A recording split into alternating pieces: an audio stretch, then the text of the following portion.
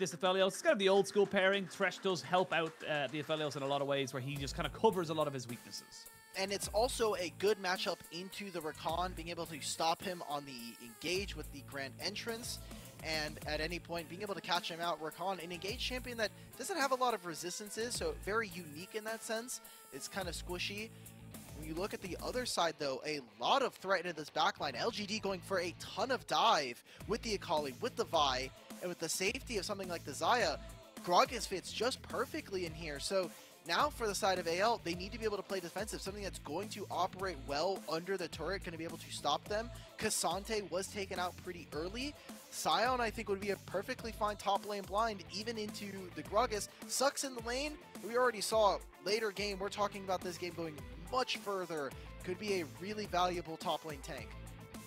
Absolutely. I think that's the best way to kind of look at it is that know, top lane tank getting you something that can engage in. But this is something that's been kind of very much exclusive, I feel like, to the LPL. The Aatrox coming in as a little bit of a top lane counter to these tank top laner engages. So really like seeing it coming out here for the side of AL, giving them another point of pressure. And again, just more kind of forward pressure to push in on the dives. I want to see what ZDZ can do because up against JDG, he was taking them to task. He was making sure to keep them honest, keeping them responsible, saying, you need to be able to answer me in the side lane. Eventually is the one that TPs into the base and ends that first game, giving them an advantage.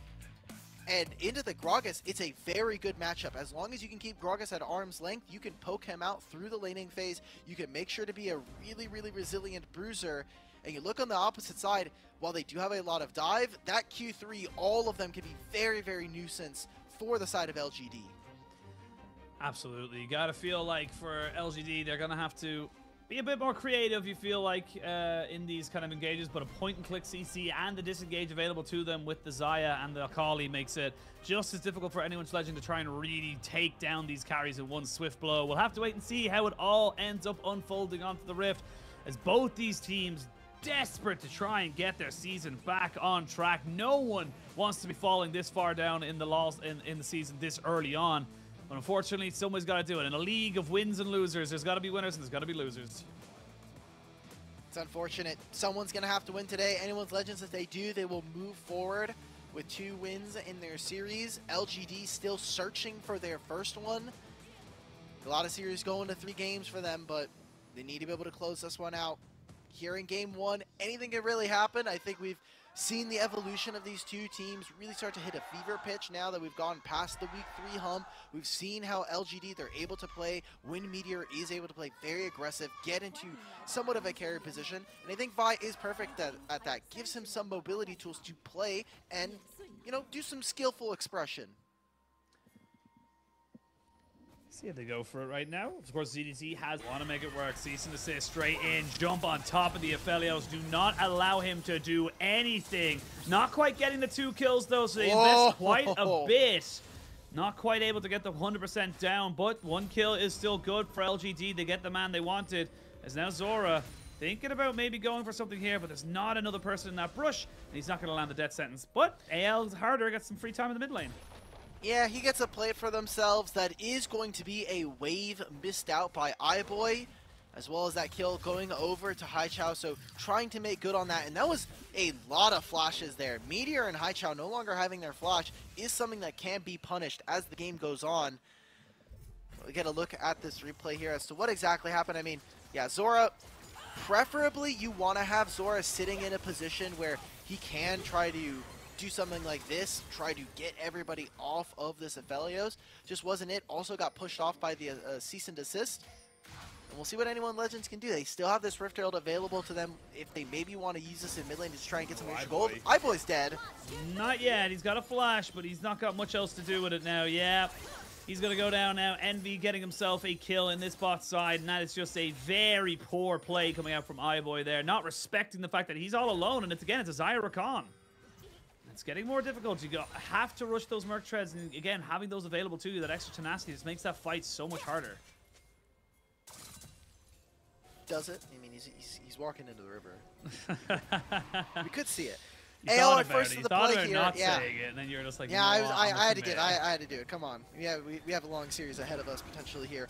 First play, they are on this dragon. They are hitting it. There's teleports coming in. It is Haichao.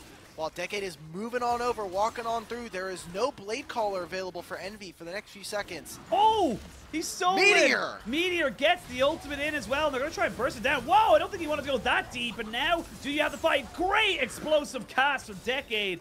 Just separate everybody else, and they cannot go for a re-engage. Haichao looking for a perfect execution. Says one more, one more push on it, but not going to pull the trigger on that particular ability. It's a one-for-one -one trade. LGD get the dragon, and LGG getting themselves closer and closer to that soul. We get a replay of this. How did Harder steal this? I mean, he just walked up. I, I was gonna say, yeah, literally just walks up. Xiaohao just. Oh I, I, wait, really what is that know. calculation? Yeah, Eight, nine, I, thought. Yeah, all right. Well, Jinjiao, this grand entrance and this quickness isn't able to get much. They walk straight into the uh, Cyclone coming out from this Wukong. And now Rift Herald here. Xiaohao on the opposite side of the map. ZDZ could potentially go to stop this, but is actually going to back off and try to cover his uh, his jungle. Make sure that the Vi is not trying to invade. Zhao. Uh, they're going in, but that's going to be the clone. You ulted the wrong one. And that's a bonk on the head from Haichao to secure the jungler's dead. Jinjiao almost going down as well. Actually, harder goes golden as Haichao goes in with the perfect execution. Well, that's all been happening. Top lane turret did go down in favor of LGD, but all said and done, it is still A- AL who come out with the kill. They come out with a dragon pressure, and they come out with a win. Oh my god.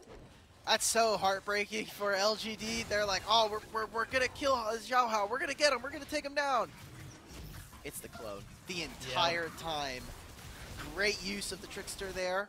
Coming out from Xiaohao as Jin trying to find this engage, but all of it is focused on this Wukong. Meaning that no one else is able to do anything. I mean, Harder is here. You have iBoy. He's putting down so much damage as well. So feels like uh, LGD kind of just seeing blood in the water, seeing red, seeing, oh, see hero, kill hero. Potentially not going to have a dragon fight at all. It's going to be the Baron starter Let's go here. LGD! They're looking for it, All but yeah, I mean, AL's already got us out. So I'll go back to my original question. How do you want to see I, both these teams approach this dragon? Is it going to start in a Like second? this? You're never going to get an opportunity for it. A good hook stops the quickness from following back onto ZDZ on the backside of this fight, but a Thresh versus Rakan taken out in this fight. Decent damage. The feathers are flying, and Harder cannot flash away. He actually flashed and instantly died. I didn't even see the animation. That's how quickly he was dead. And this this this Xayah is starting to really put in work. So much was expended, but they gained the fight. and They gained the dragon as well. Or do That they? fight was a huge advantage going over to AL. I thought the Cyclone was stopping so much. iBoy having to play around ZDZ now. Here we go. Demonic Ascension coming in here for ZDZ. You're going to see Haichao misses her, can flip. The Dragon still putting in work here. ZDZ gets hit by all the feathers and he gets taken out. Envy finally coming to life in the LPL. 4-0 and 2 here on the Xayah and doing some work. Sometimes eke out advantages, specifically on something like a Jinx where you have that reset potential. And I want everybody to see where Xiaohao is in this. Stops the initial perfect execution, is able to stop Jinjiao and Akali yet again. What a perfect start to this fight where then Envy plants its feet, no threat from the enemy team. It's all about trying to see if they can get some kind of engage. The Annie and the Wukong have such incredible burst, but doesn't matter if for squat if you can't get it out there. And I will say Decade is level 18. He is so far ahead of everybody else in terms of levels. And having those extra stats is just invaluable to this team. And now with Dragon on the Rift, maybe we look for a fight. Here we go. They're going to try and go for it, but immediately Envy goes into the Feather Storm. Now Haichao on the backside looking for. As Okay. Harder has gone down. They're not able to kill off the jungler of LGD, and LGD are looking for these kills. Double kill coming in here now for Envy. Uses his flash and his cleanse, but gets every bit of example that he needs from it. And now LGD, they might not even have Dragon. They've still got Baron. They can push up for this wave. They can push up for this win. They can go for it. I mean, Haichao has teleport as well, waiting for it. Actually, he's just going to use it bottom lane. Two members left for anyone's legend. And and LGD, they're going to take game one. Yeah, this could be it. This could be LGD taking themselves a 1-0 advantage over against AL. Flash away by Haichao to try and keep himself alive, but this AD carry of LGD is just too damn big. Nothing you can do. We'll call it a delayed quadra for the LGD Envy, and that is going to be game one of this best of three to LGD.